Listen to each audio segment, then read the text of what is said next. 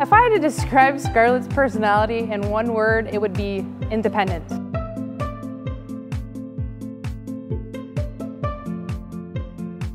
She'll check in with mom every once in a while, but she's totally fine hanging out, doing her own thing without Edith. Hi, Scar Scar. Come on out. Let's go with mom.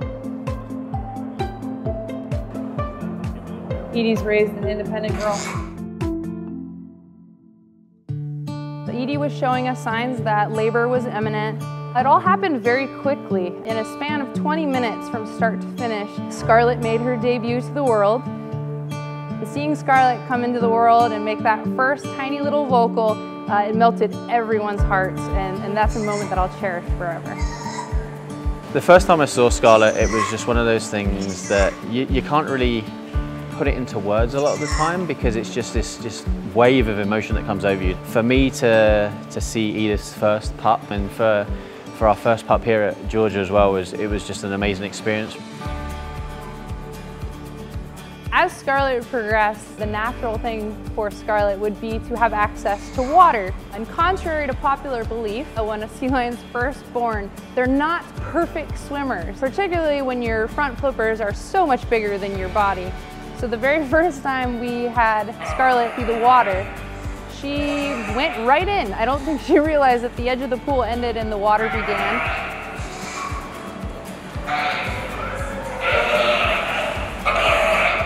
Edie was right there underneath her to support her, but it was definitely a moment that our entire training staff, we held our breaths and then we all started laughing because it was so cute.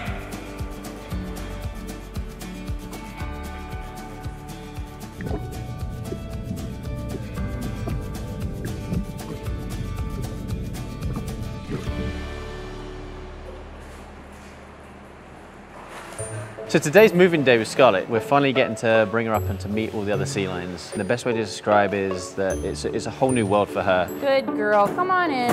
Scarlett, you wanna go with her or no? You gotta kind of move though. Would you like to go with mom? You can go with mom. Beautiful. Good job, you two.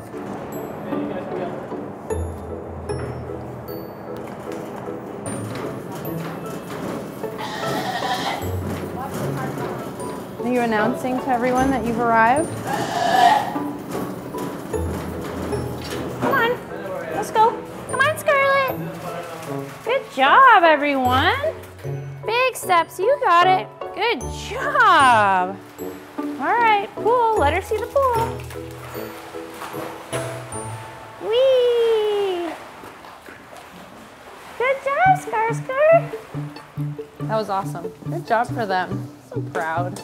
She's growing so fast. She's already so much bigger than she was two months ago.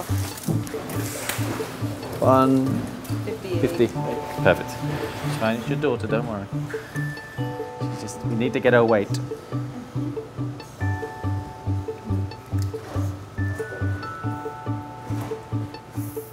Forty-two. You plump little meatball. Forty-two. She's a heavyweight. A little heavyweight. Yay! Everyone's putting weight on. And get in the pool. Scarlett's been a, a rock star. She's um, she's adapted so well. Morning. Oh, hello. How are you? Oh, there's a little munchkin. Is she gonna come with us? Come on, come Scarlett. Here you go. In the big pool, come on. She's she's fearless, just like her mother. She's amazing. She's she, she takes everything in her stride, and she's she's shown this real keen ability to just adapt to her scenario. Good job. We find that Katie, who is also one of our uh, dominant females, we find her to be a very good role model, not only for Scarlett, but also as for a surrogate mother almost. It's a tough job for mum, and to have that help, have that type of auntie, we we were trying to find that, that, um, that animal we actually have that could do that, uh, and Katie fills that role. Every time I walk by, I can't help myself. I have to see if she's interested in seeing what I'm doing. She typically comes running over and Uh, it's a few moments where I forget everything else and it's just Scarlett and I and that sea lion, she makes me laugh so hard. She's so cute, uh, she's so inquisitive and I just love being around her. And I just can't wait until, until our guests get the chance to come in and see her because everybody's just gonna love her. She's amazing. They're gonna love her.